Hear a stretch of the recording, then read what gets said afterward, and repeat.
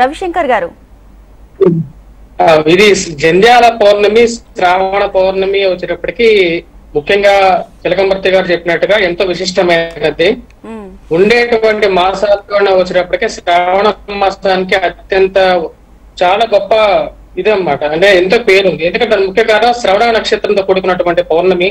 ఈ రోజు త్వర చెప్పినట్లుగానే వచ్చేటప్పటికి ముఖ్యంగా ఎవరైతే సత్యనారాయణ వ్రతము నరసింహ వ్రతాలు గాని ఎవరైనా చేసుకోవాలనుకున్నా నోవులు ఉన్నా సరే చేసుకునే వాళ్ళు చేసుకుంటూ ఉంటారు.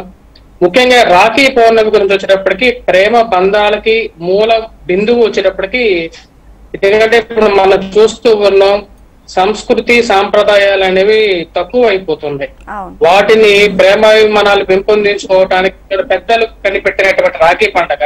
ఈ రాఖీ పండగ భద్రతిథి అనేది వచ్చేటప్పటికి ముఖ్యంగా ఉదయం ఒకటి ముప్పై రెండు నిమిషాల వరకు వస్తున్నది. భద్రతీతికి వచ్చేటప్పటికి చిన్న చిన్న ప్రభావాలు అయితే ఉన్నాయి కానీ అవి మన ఈ యొక్క ఆంధ్ర రాష్ట్రం మీద ఎక్కువగా ప్రభావం అనేది లేదు. ఎందుకంటే భద్రతిథికి ప్రభావం ఉన్నా సరే అది వచ్చినప్పటికీ ముహూర్త ముహూర్త ఎప్పుడైతే మనం నిర్ణయిస్తామో అంటే ఎప్పుడైతే మనం ధరించాలని నిర్ణయించుకున్నప్పుడు ఆ యొక్క ప్రభావం అనేది కూడా ఉండదు అనమాట ఎందుకంటే రేపు ఉదయం తొమ్మిది నలభై ఐదు నిమిషాల నుంచి పదకొండు యాభై ఐదు నిమిషాల వరకు తులాలగ్నం అనేది ఉంది. తులాలగ్నానికి వచ్చేటప్పటికి రవి మంచి స్థానంలో ఉన్నాడు. బుధుడు శుక్రుడు కూడా అనుకూలమైనటువంటి స్థానంలో ఉన్నాడు అనమాట ఈ యొక్క బలరీత్యా వచ్చేటప్పటికి ఈ యొక్క సమయాల్లో కట్టుకున్న వారికి ఎటువంటి ప్రాబ్లం ఉండదు. నార్త్ ఇండియాలో వచ్చేటప్పటికి ముఖ్యంగా మనం చూసుకున్నట్లయితే వాళ్ళు భద్రతిథిని అవాయిడ్ చేస్తూ ఉంటారు. భద్రతిథిని అవాయిడ్ చేసేసి ఒకటి ముప్పై ఐదు నుంచి అంటే అపరాహ్న కాలం మధ్యాహ్నం నుంచి వాళ్ళు కట్టుకోవడం జరుగుతూ ఉంటుంది.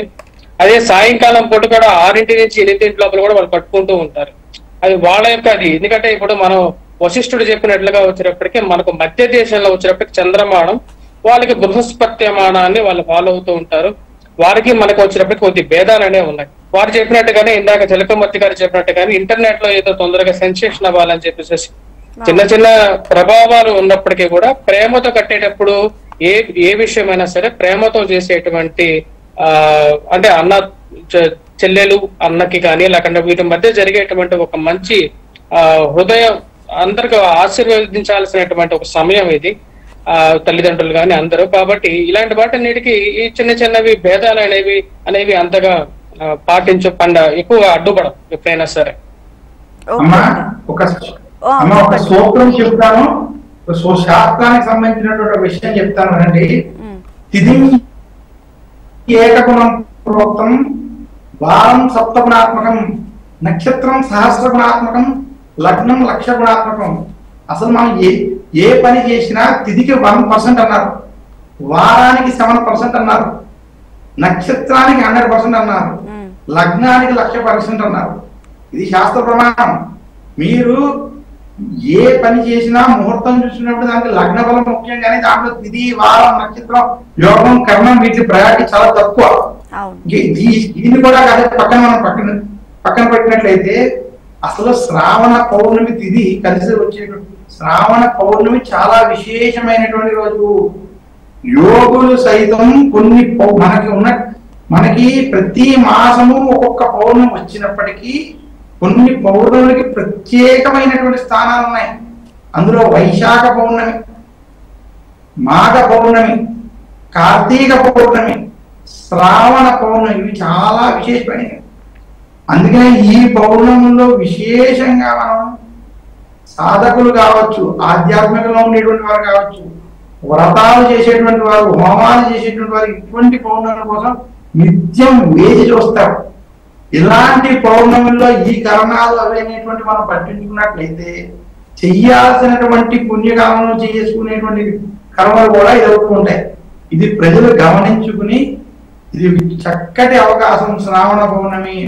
ఈ శ్రావణ పౌర్ణమి ఉన్నటువంటి సమయంలో మీరు ఆచరించుకునేటువంటి వ్రతాలు కావచ్చు అలాగే ఎవరైతే ఉపనయనం అయినటువంటి వారు ఆచరించుకోవాల్సినటువంటి విషయాలు కావచ్చు ఇదే కాకుండా రక్షాబంధం మనకి రక్షాబంధం ఎలా ఏర్పడింది? ఇంద్రుడు రాక్షసుల చేతిలో తన యొక్క పదవిని కోరుకోవడం ఇంద్ర పదవి తిరిగి సంపాదించడం కోసం చాలా మంది రక్షాబంధం అంటే కేవలం అన్నాచలలో పండుగ అనుకుంటారు. ఇంద్రాణి అయిన ఇంద్రుడి భార్య అయినటువంటి ఇంద్రాణి ఈ రోజు ఇంద్రుడి కోసం పూజించి అమ్మవారిని పూజించి ఆయనకి రక్షణ కట్టింది కాబట్టి అక్కడి నుంచి రక్షాబంధం ఏర్పడిందని ఒక కథ పురాణం.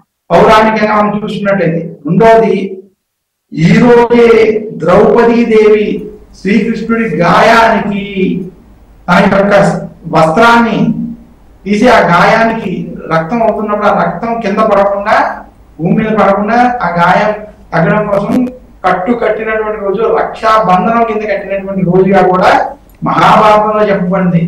ఈ రకంగా శ్రావణ పౌర్ణమి రోజు ఎవరైతే అమ్మవారిని పూజించి అమ్మవారి దగ్గర పెట్టినటువంటి రక్ష రక్షాబంధనం అంటే ఏదో మనం బయట తెచ్చేసుకున్నటువంటివి కాకుండా దానికి ఒక శాస్త్రబద్ధంగా ఒక తోరణంలాగా మనం పూలతో దాంతో కట్టుకుని దాన్ని ఒక రక్షగా భావించి చేయాలి.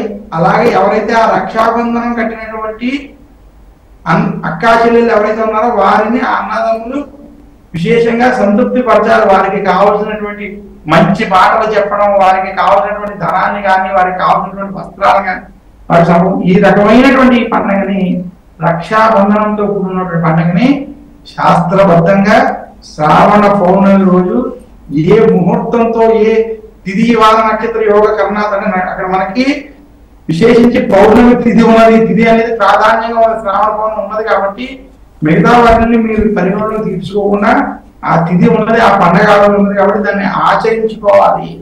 అదే ఉత్తమం. ఓకే. రవిశంకర్ గారు హిందువులు ఏ పండుగ జరుపుకున్నా ఏ కార్యక్రమం చేయాలనుకున్నా కూడా ముహూర్తాలు చూస్తుంటారు. సో ఆ ముహూర్తం ప్రకారమే వాళ్ళు కూడా దాన్ని పాటిస్తూ ఉంటారు.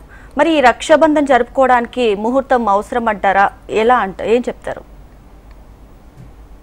రక్షాబంధన్కి వచ్చేటప్పటికి ముహూర్తం అనేది మానసిక నిర్ణయం. అంటే మనం మనం మనిషి తీసుకునేటువంటి నిర్ణయాలకి తగినటువంటి శక్తిని ఆ మిగతా గ్రహాలు కూడా జోడించగలుగుతాయి అన్నమాట అందుకనే ముహూర్త బలాన్ని జనరల్గా హిందువులు ఎక్కువగా పాటిస్తూ ఉంటారు. ఇప్పుడు రాబోతున్నటువంటి ఇప్పుడు మనం చెప్పినట్టుగా ఇందాక రక్షాబంధనం అనేది వచ్చేటప్పటికి ఏదో ఈ ఇంగ్లీష్ వాళ్ళు చెప్పినట్టుగా ఏదో ఖరీదైనటువంటి రాఖీలు కట్టుకుంటేనే మన మీద ప్రేమ ఉన్నట్లుగా అట్లా భావించకూడదు. మనకు ఇప్పుడు చెప్పినట్టుగానే జలగమతి గారు చెప్పినట్టుగానే ఒక గుడ్డ పెళ్ళికి కట్టినా సరే అది రక్ష. రక్ష అనేది నేను ఏంటంటే ఒక తమ్ముడిని గాని అన్నాన్ని గాని తనకి జరిగేటువంటి ప్రతి ఒక్క ఏవైతే ఆటంకాలు కానీ లేకపోతే కష్టాలను నష్టాల నుంచి బయటికి తీసుకురాగటానికి కోసమే ఈ యొక్క రక్షణ అనేది ఉపయోగపడుతుంది. శాస్త్రబద్ధంగా అమ్మవారి ముందు పుట్టి అమ్మవారి ముందు పెట్టి పూజించి ఆ యొక్క దూరబద్ధంగా ధరించుకోవచ్చు. ఇప్పుడు మనం ముహూర్త నిర్ణయంగా మనం చెప్పినట్లయితే ఇప్పుడు నడుస్తున్నటువంటి గ్రహగతుల రీత్యా వచ్చేటప్పటికి తులాలగ్నం అనేది జన్మ లగ్నంలో కూడా ఎటువంటి గ్రహం లేదు. అదే సప్తమంలో ఎటువంటి గ్రహం లేదు. రాజస్థానాల్లో రవి శుక్రుడు బుధుడు. శుక్రుడు బుధుడు కూడా మంచి అనుకూలమైనటువంటి స్థానంలో ఉన్నారు. కేతువు కూడా మంచి అనుకూలమైనటువంటి స్థానంలో ఉన్నాడు. గురుబలం తప్ప తులాలగ్నం అనేది ఉదయం తొమ్మిది నలభై ఐదు నుంచి పదకొండు యాభై ఐదు వరకు కూడా మంచి అనుకూలమైనటువంటి సమయం. నార్త్ ఇండియా జనాలు కూడా వచ్చినప్పటికీ ప్రతి ప్రతి పూజకి కూడా వచ్చినప్పటికీ శుభ సమయాలు చూస్తారు. మన ఇక్కడ ఆంధ్రప్రదేశ్లో వచ్చేటప్పటికి శుభ సమయం అనే పూజ కార్యక్రమానికి చూడాలి యాక్చువల్గా కానీ వారు ఎక్కువగా చూడరు. ఎందుకంటే శుభ సమయంలో మనం చేసేటువంటి క్రియకు వచ్చేటప్పటికి ఎటువంటి కీడులు ఉన్నా సరే ఆ లగ్న బలానికి ఎటువంటి కీడులు ఉన్నా సరే ఎటువంటి ఆటంకాలు ఉన్నా సరే అవి తగలకుండా ఆ యొక్క కార్యక్రమం అనేది నిర్విఘ్నంగా జరుగుతూ ఉంటుందని చెప్పి శాస్త్ర విదితం అన్నమాట ఇది. దాని ప్రకారంగానే వచ్చినప్పటికీ ఇప్పుడు చూసుకున్నట్లయితే మనకు ఈ సమయం అనేది తులాలగ్నం బాగానే ఉంది.